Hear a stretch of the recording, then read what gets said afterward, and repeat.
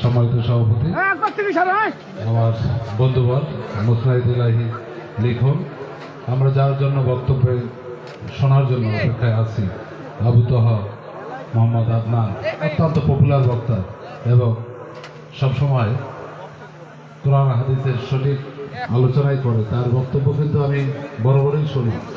উপস্থিত আছেন আপনাদের এলাকার কৃতি সন্তান উপজেলা চেয়ারম্যান ইউনিয়ন চেয়ারম্যান আরও অনেকে আমার সামনে উপস্থিত, আমার মুরব্বিয়ান সমবয়সী পর্দার আড়ালের মা বোনেরা, সকলের প্রতি রইল। সালাম, আসসালামু আলাইকুম রহমতুল্লাহ। খুব বেশি বক্তব্য দেবো না, কারণ বক্তব্য দেওয়া তো অনেক সময় থাকে আমার, তাই না? আমরা প্রধান বক্তার বক্তব্য শুনব।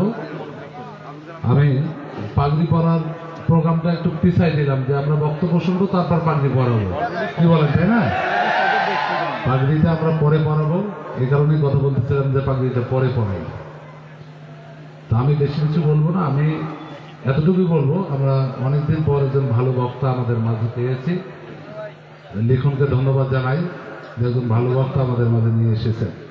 তার বক্তব্য শুনব, আমার জন্য দোয়া করবেন। আপনাদের দোয়া ভালোবাসায় আজকে আমি মহান জাতীয় সংসদে যেতে পেরেছি। আপনারা আমাকে ইউনিয়নের চেয়ারম্যান, উপজেলা চেয়ারম্যান হিসেবে দায়িত্ব দিয়েছিলেন।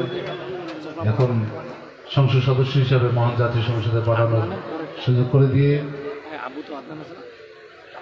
আমাকে কৃতজ্ঞ করেছেন। আমি কৃতজ্ঞতা জানাই আপনাদের। আপনারা যে বিশ্বাস নিয়ে আমাকে ভোট দিয়েছেন, দোয়া করবেন আপনাদের দোয়া নিয়ে যাতে করে এই কাজগুলো করতে পারি। এই চেষ্টার কাজ যেন করতে পারি। অর্থনৈতিক অঞ্চল সহ এই অঞ্চলের মানুষের অর্থনৈতিক মুক্তির যে বিষয়গুলো আছে সেগুলো কাজ করতে পারি। আর এই মাদ্রাসা যখন প্রতিষ্ঠা হয়, তখন আমি উপজেলা চেয়ারম্যান তো সে একটা ভালো কাজ করছে, দিনে প্রতিষ্ঠান তৈরি করছে, সেখান থেকে হাফেজ বাচ্চারা কোরআন, হাদিসের জ্ঞান শিখতেছে। এটা সবারই সহযোগিতা করা প্রয়োজন। সে একাই চালাচ্ছে। আমি একবার উপজেলা চেয়ারম্যান থাকতে না দুই আড়াই লাখ টাকা দিয়েছিলাম। আর পরে দিতে পারিনি। এখন তো ওরই অনেক। সেই দিলে আপনারা জাস্ট বার্তা দিয়ে সহযোগিতা করবেন। আর যে বক্তা বক্তব্য রেখেছে কিছুক্ষণ আগে, অত্যন্ত গুরুত্বপূর্ণ বক্তব্য রেখেছে। এরপরে আমাদের আবু তহা মোহাম্মদ আদনান ভাই বক্তব্য রাখবে। আমি কিছুক্ষণ আগে হাজিরহাট থেকে আসলাম একটা মাহফিলে। এই বক্তার বক্তব্য শোনার জন্য। তা আসি আমরা সবাই দোয়া করে যাব। কি বলেন? আর আমার জন্য দোয়া করবেন যাতে করে আপনাদের পাশে থেকে আপনাদের সন্তান আপনাদের ভাই হিসাবে আপনাদের পাশে থাকতে পারি এলাকার উন্নয়ন করতে পারি। যেভাবে অতীতে ছিলাম এখনও সেভাবে আছে। এমপি হয়েছে তো গিয়ে কি বলেন? তাই না? আমি এলাকার সন্তান আপনাদের?